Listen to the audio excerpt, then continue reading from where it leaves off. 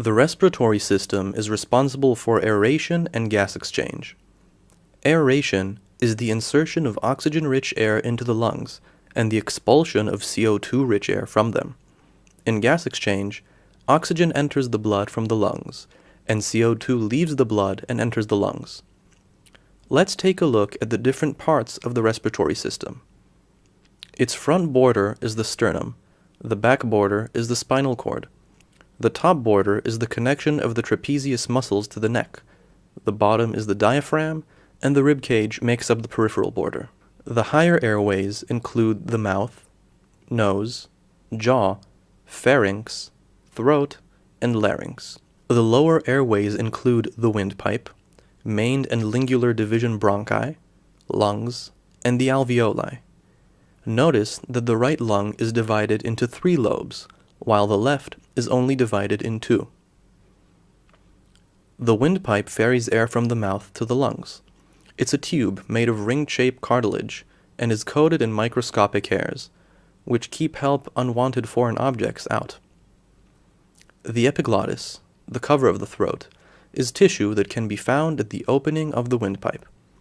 It covers the windpipe while swallowing, in order to avoid the entry of foreign objects and blockage of the airway. The main bronchi are two branches of the windpipe, which branch out to the lingular division bronchi.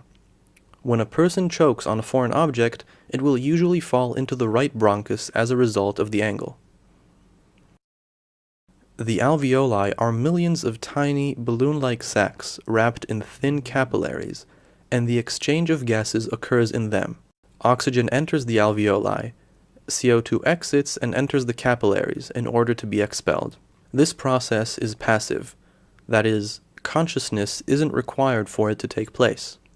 There are secondary organs that aid the process of breathing, which include the rib cage, which physically protects the thorax, heart, and lungs, and takes an active part in the breathing process using the intercostal muscles. The diaphragm is a muscle that separates the thorax and abdomen.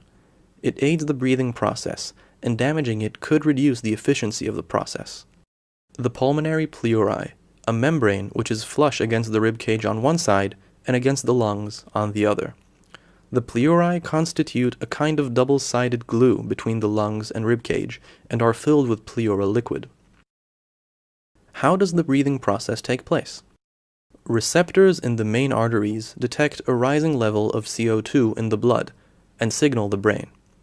The brain neurally stimulates the intercostal muscles, which contract and lift the thorax, and the diaphragm, which contracts towards the abdomen. The muscles connected to the pleurae pull them, and they, in turn, pull the lungs outward.